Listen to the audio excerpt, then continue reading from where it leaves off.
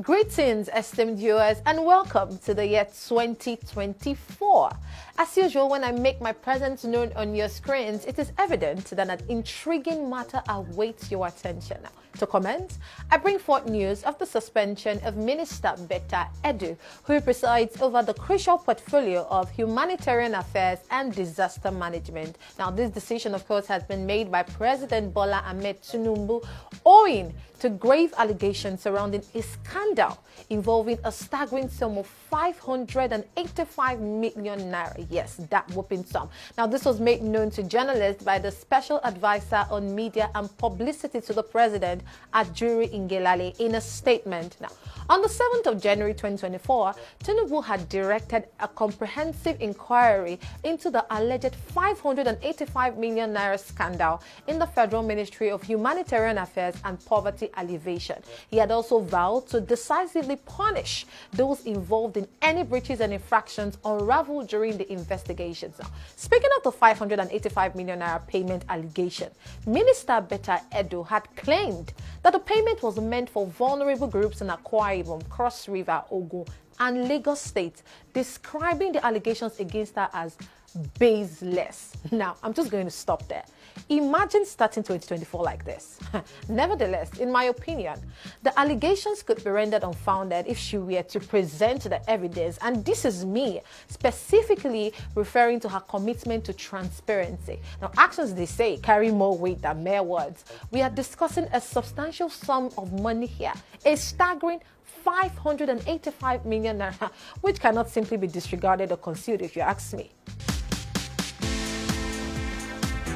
Moving on, we are met with yet another mind-boggling story, which is the Federal Capital Territory High Court in Abuja declaring the prolonged detention of former governor of the Central Bank of Nigeria, Godwin Emefiele, without trial as a flagrant violation of his fundamental human rights. Now, the court also slammed a 100 million naira fine against the federal government and the Economic Financial Crimes Commission. Delivering the judgment on the 8th of January 2024, the presiding judge Olukayode Adeniyi also restrained the federal government and its agents from rearresting or detaining Emefiele without an order of the court. The judgment was given in a fundamental human rights suit filed by the former CBN governor following his prolonged detention in the custody of the Department of State Services. He asked the court to order the respondents to pay him 1 billion naira damages and to restrain them from further arresting and or detaining him. During his ruling, Adeniyi said quite a lot. And one of which is that the practice of arresting suspects before investigation by security agencies must stop. Now, in his words, time has come to put an end to the unwholesome culture and practices of arresting and keeping a suspect in detention before the investigation of the suspect alleged of an offense. A suspect must be allowed to have his day in court if indeed there is evidence of a commission of the crime against him. Now, guys, it is imperative to remember that the former Central Bank of Nigeria chief was apprehended on June 10, 2023, shortly after being suspended by President Bola Tinubu. Now, during the process of his arrest, numerous allegations such as terrorism financing, money laundering, and other economic crimes have emerged. Consequently, it is essential to deliberate upon these recent developments. Please feel free to share your thoughts in the comment section below. We bring this episode to a close, hmm, my guys, let's quickly talk about something that has been making quite the buzz on the internet lately, and that is none other than the allegations of sexual assault, physical abuse, fake miracles, and trauma allegedly suffered by people in the hands of a late Nigerian pastor, Temitope Joshua, also known as TB Joshua. This, of course, we all know was brought to light via a BBC investigation.